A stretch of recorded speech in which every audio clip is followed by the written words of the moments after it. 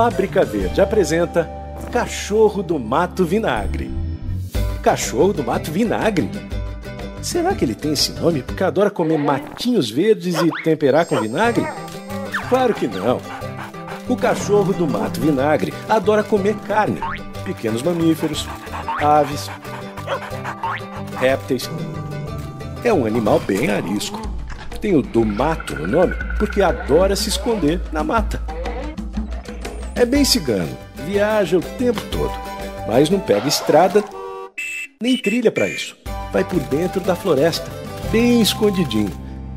E ainda assim está ameaçado de extinção pela destruição do meio ambiente. Mais um motivo da gente preservar o verde. Afinal, como é que um cachorro que tem mato no nome vai existir sem ele?